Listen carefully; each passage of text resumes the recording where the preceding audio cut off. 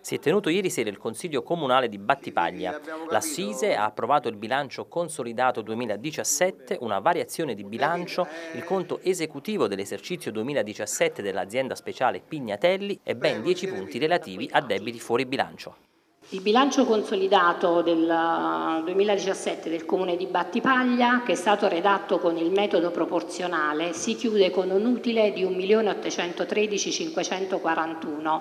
mentre l'utile del Comune è di 3.286.748.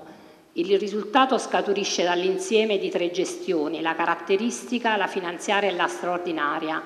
La caratteristica è data dalle attività tipiche in relazione alle quali si conseguono proventi e si sostengono costi per così dire di produzione, quella finanziaria che è relativa alle operazioni legate al reperimento delle risorse finanziarie e degli investimenti finanziari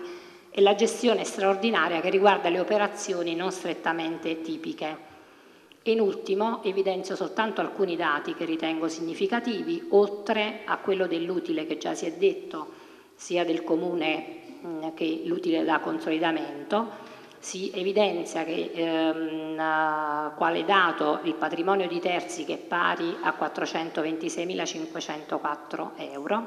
e la differenza di consolidamento che è pari a 1.999.574 che è originata dalla differenza tra il valore delle partecipazioni, così come presenti nel bilancio, e il valore delle partecipazioni nel bilancio delle partecipate stesse.